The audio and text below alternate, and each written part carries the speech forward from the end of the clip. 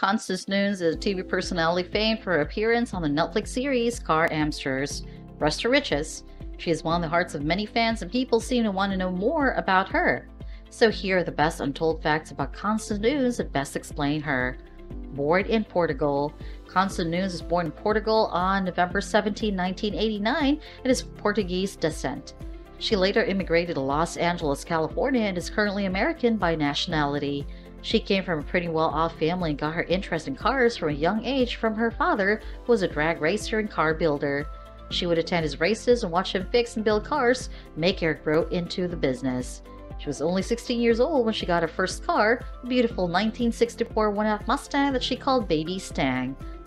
Modeling and stuntwoman career. Despite practically growing up around cars and having a vested interest in them, strangely, Noon's career beginnings were not car related was actually in modeling, which was too quite a lucrative opportunity for the hot and beautiful Nunes. She has modeled for brands like Jockey, Wrangler, Gillix Label, and Farrell Cosmetics. She has also endorsed brands like Kim Kardashian's Hollywood Game, Motorola, and Reebok. Of course, her car knowledge helped her get many gigs in car shows as well. She then also held a brief career as a stunt woman in movies like Dodgeball and Bring It On. Her portfolio also credits her work as an assistant director, a service specialist for big car companies like Audi, BMW, Ford, and Acura.